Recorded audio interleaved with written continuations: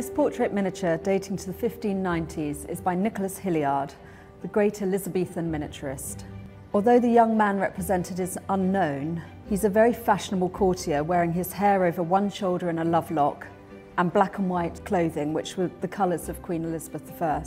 He wears an expression which was known as melancholia, which was an inward looking disposition and thought to be essential to writing great poetry and prose. His lovelock was also similar fashion worn by the Earl of Southampton, who was Shakespeare's greatest patron of the time. In the 1590s, Hilliard developed a new technique.